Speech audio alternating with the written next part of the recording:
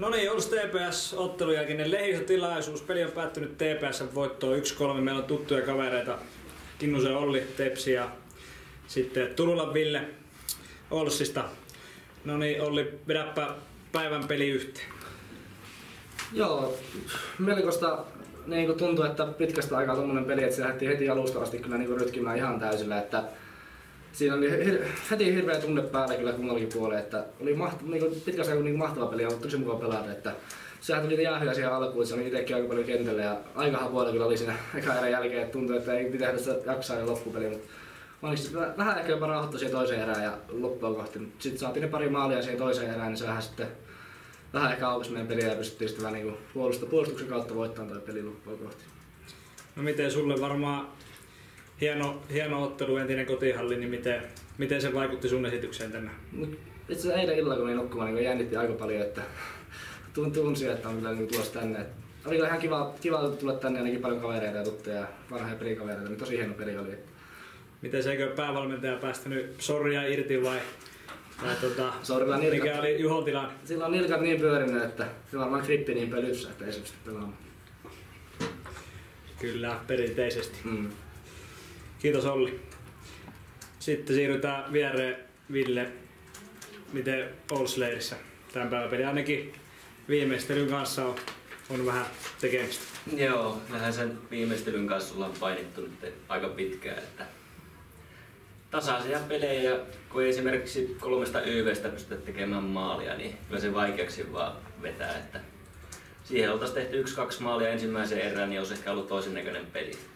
Että tänään tuntuu, että joka kentällä takkus maalinteko ja kolme omiin, niin ei se ihan älyttömästi ole, mutta kun maalinteko on tuommoista, niin vaikeahan se on.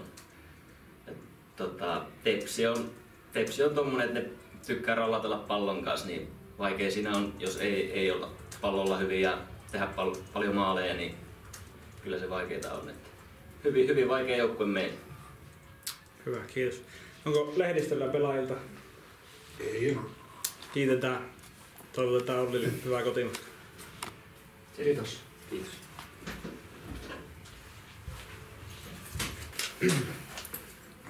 No niin, sitten valmentajat molemmista joukkueista. TPS Jukka Ruotsalainen, tervetuloa ja Eetu Vehanen Olssista tutusti.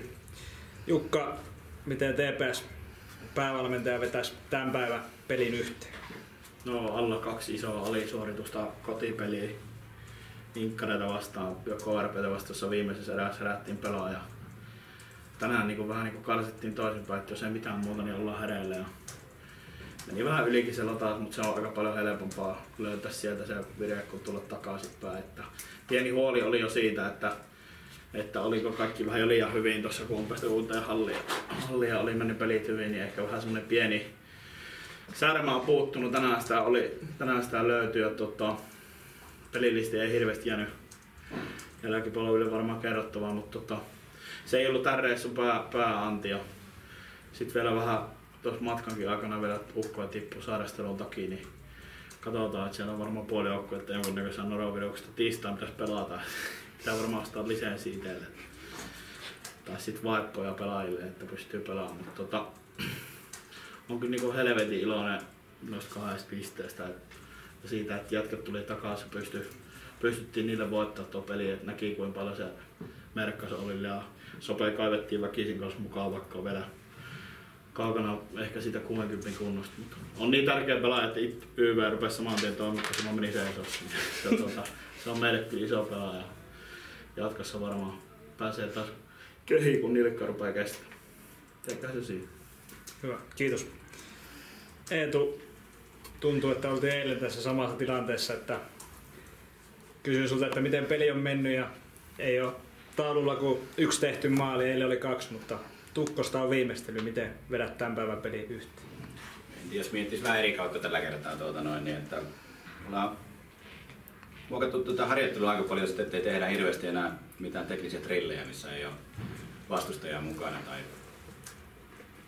jotta tulisi se havainnointiprosessi siihen mukaan, mutta tuota noin, niin ehkä se alkaa jopa, jos tässä miettii, niin näkymään, että niitä toistoja ei kuitenkaan sitten ole riittävästi, että se tasapaino sen suhteen tuossa harjoittelussa, että se ehkä tässä alkaa tänä viikonlopun aikana vahvistumaan, että tuommoiset tavallaan puolivarmat paikatkin, missä pitää vaan se pallo nostaa kattoa, viedä rystylle, tehdä rystykämmen harhautus vastaava, niin kyllähän sä saat paremmin toistoja siinä, kun teet sen ihan puhtaasti teknisenä trilli- trillinä, että tuota, siinä on varmaan semmoinen pohtimisen paikka. Että ei tuota,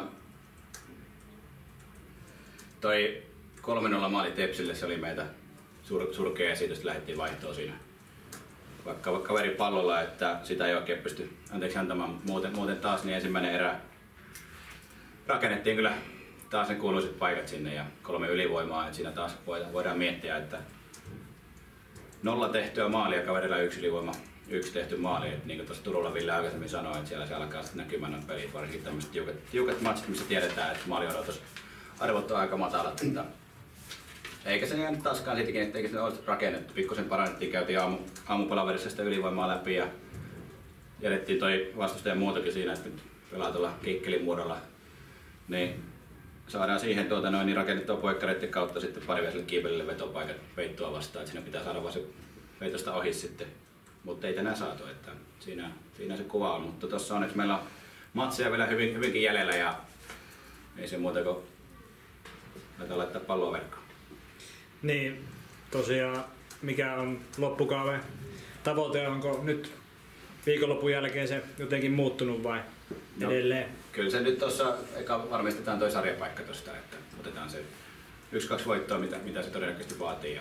Mutta tuota, en mä tuosta pelistä isos, isosti huolestani kokonaisuutena. Että siellä on sitten pelin sisällä asi- asioita, mitä pitää petrata sekä niin kuin valmennusjohtoisesti että pelaajien itsekin. Että siinä on meidän selkeä suunta tuohon noin. Ja kuitenkin jos mietitään, ei pelkästään tätä kautta myös tulevia, niin tässä on hyvä paikka viedä, viedä ja kehittää peliä tuleville vuosille.